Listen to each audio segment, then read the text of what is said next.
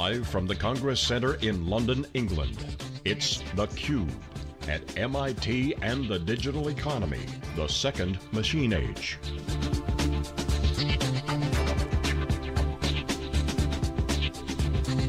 Brought to you by headline sponsor MIT.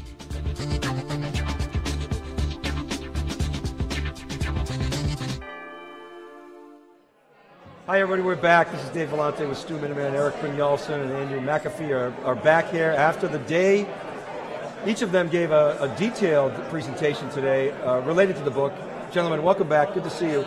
Good to see you again. Erik, I want to start with you on a question that, the last question that Andy got uh, from a woman Wait, in the you're audience. starting with him on a question that was asked of me. Yes, and you'll see why in a minute. You're You're hoping to somebody can get this show. right. Yeah, it's like Well, you dodged the question, as you recall. And, uh, by the way, Fair for point. the record, hanging out with you guys makes us smarter.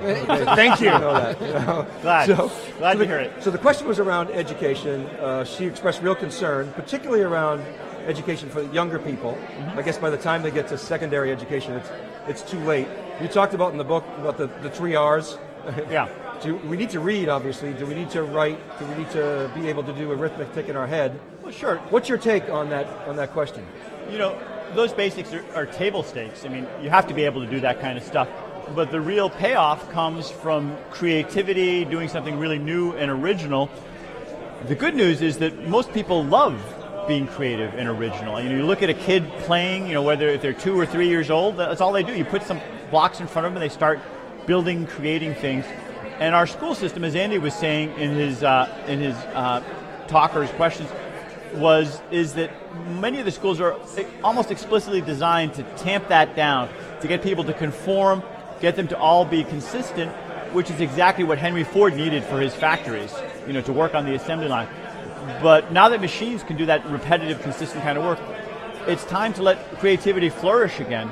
And that's what we got to do on top of those basic skills. So I have and, and one. It's, and it's pretty clear that, that, that our primary education model is really hard for some kids to accept. They just want they want to run around. They want to go express themselves. They want to go poke at the world. That's not what that a grid full of desks is designed to do. At We all. call that ADD now, right? Yeah, we call right, that being, you know, It's a nothing- pathology. medication. Yeah. I have one Montessori kid out of my four. Do you really? He's the by far the most creative, the most autodidactic. You're a Montessori child. Does Marie Montessori have it right? Is that I part of the answer? Look, I'm not an educational researcher. I am a Montessori kid. I think she got it right. And she was able to demonstrate that she could take kids out of the slums of Bologna who were at the time considered mentally defective. There's this notion that the reason the poor were poor is because they were. Uh, they were just mentally uh, insufficient, and she could show their learning and their progress. So I completely agree with Erik. We need, all of our students need to be able to, to accomplish the basics,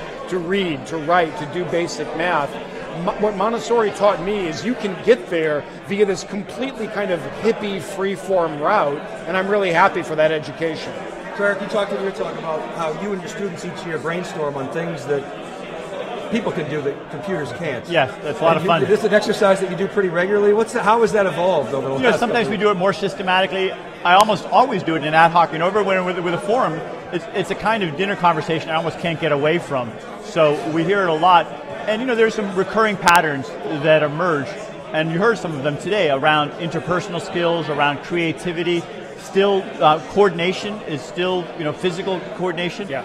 What some of these have in common is that um, they're skills that we've evolved over literally, you know, hundreds of thousands or millions of years, and there are billions of neurons devoted to some of these skills uh, coordination, vision, uh, interpersonal skills.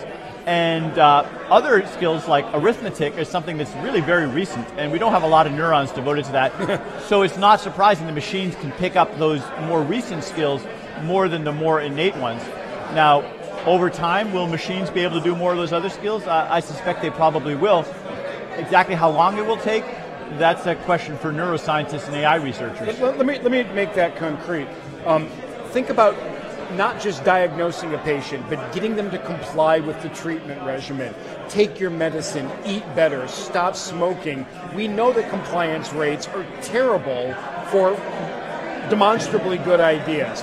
How do we improve them? Is it a technology solution? A little bit. Is it an interpersonal solution? Absolutely. I think we need deeply empathetic, deeply capable people to help each other become healthier, become better people. The right program might come from an algorithm, but that algorithm and the computer that spits it out is going to be lousy at getting most people to comply.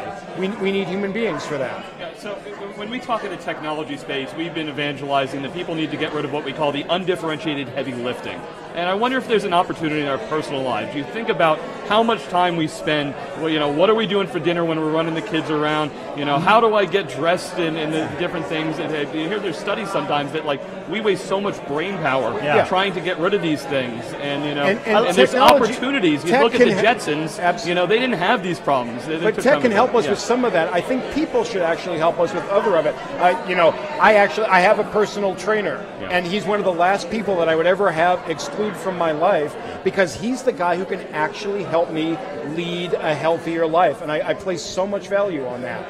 I, I like your metaphor of this is undifferentiated stuff. That really, it's not the stuff that makes you great. It's just stuff you have to do. Right. And I remember having a conversation with uh, the folks at SAP, and they said, you know, I'm not sure we'd like to brag about this, but we take away a lot of that stuff that isn't what differentiates companies. You know, the back office stuff, getting your basic bookkeeping, accounting, supply chain stuff done.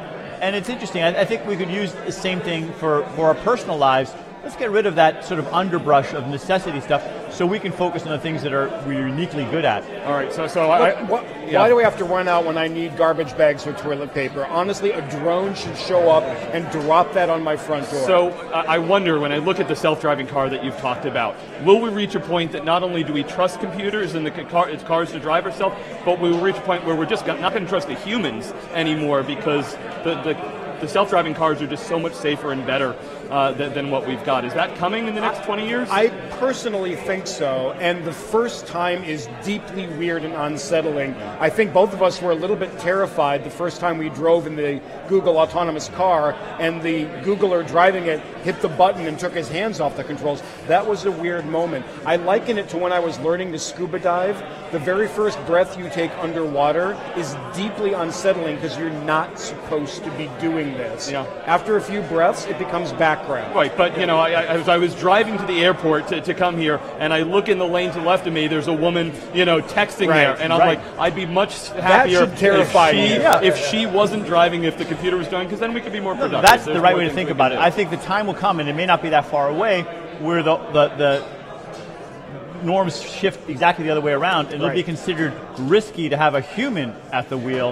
And the safe thing, that the thing that the insurance company will want, is to have a machine there. You know, I think this, there's a temporary phase with new technologies where you become frightened of them.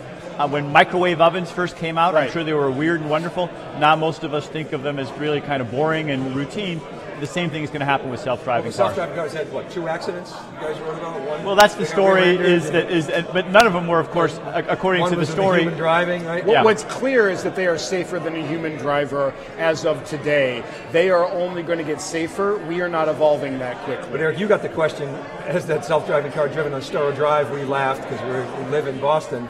But your answer was it, it will drive on Storrow Drive and drive Well, you know, eventually, you know, I think that it's fair to say that there's a big difference. You know, the, the first 90, 95, even 99% of driving is something that's a lot easier. That last 1% or 100th of 1% becomes much, much harder. And right now, we've had, there's a car just last week that drove across the United States, but there were half a dozen times when it had to have a human intervene in some particularly unusual situations. And I think because of our, our norms and expectations, it won't be enough for a, a self-driving car to be safer than humans. We'll need it to be, you know, 10x safer or something like But that. maybe like the chess uh, example, maybe the ultimate combination is a combination of human and self-driving car. maybe. Situation after situation, uh, I think that's going to be the case. And I'll go back to medical diagnosis. I would, at least for the short to medium term, I would like to have a pair of human eyes over the treatment plan that the that the completely digital diagnostician spits out. Maybe over time it'll be clear that there are no flaws in that. We can go totally digital, but we can combine the two. I think in most cases what Andy said is right and what you brought up. But you know, in the case of self-driving cars in particular and other situations where humans have to take over for a machine that's failing for some way, like an aircraft when the autopilot isn't doing things right, it turns out that that transition can be very, very rocky. And expecting a human to be on call to be able to quickly grasp what's going on in the middle of a crisis Of a freak out, that that's not reasonable. Isn't necessarily the best time to be switching over. So there's a there's a hu- human factors issue there of how you design it, not just so the human can take over, but that you can make a kind of a seamless transition, and that's not easy. Okay, so Agreed. maybe self-driving cars, it doesn't happen, but back to the medical example, maybe Watson will replace Dr. Welby, but perhaps not Dr. Oz. or, That or- or- or, a nurse or somebody who actually gets me to comply again. But also, I do think that Dr. Watson can and should take over for people in the developing world who only have access instead of first world medical care, they've got a smartphone. Okay, we're going to be able to deliver absolute top shelf world class medical diagnostics to those people fairly quickly. Of course, we should do that. and then combine it with a coach who gets people to take the prescription when they're supposed to do it, change their eating habits, Or a community or whatever say, else it your is peer- your that- peers are all losing weight. do. Why aren't you? Right. I want to uh, ask you something. We've run out of time here. You guys have been gracious with your time, but Andy, in your talk, you were very outspoken about a couple of things. I would summarize it as uh, Elon Musk, Bill Gates, and and, and uh, Stephen Hawking are paranoid, and and there's no privacy in the internet. So get over it. I, I didn't say Okay. there's no privacy. Yeah, I, no, I, I- no, no. words. No, I think, I think it's important to be clear on this. I think privacy is really important. I do think it's a right that we have and we should have. What I don't want to do is have a bureaucrat define my privacy rights for me and start telling companies what they can and can't do as a result. What I'd much prefer instead is to say, look, if there are things that we know companies are doing that we do not approve of, let's deal with that situation as opposed to trying to put guardrails in place and, and, and fence off a, different kinds of innovation. Which innovation. constricts growth and has Right. I mean, there's two kinds of mistakes you can make. One is you can let companies do things and you should have regulated them. The other is you can regulate them preemptively when you really should have let them do things. And both kinds of errors are possible. Our sense of looking at what's happening on the internet is that we've thrived where we allow more permissionless inter- in- innovation, where we allow companies to do things and then go back and fix things, rather than when we try and lock down the past and the existing processes. So our leaning, in most cases, not every case, is to be a little more free, a little more open. Recognize that there will be mistakes.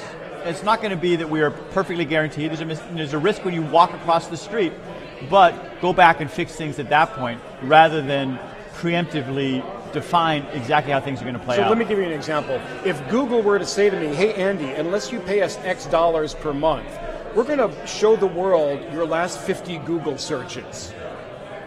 I would completely pay for that kind of blackmail, right? Your search history is incredibly personal, reveals a lot about you.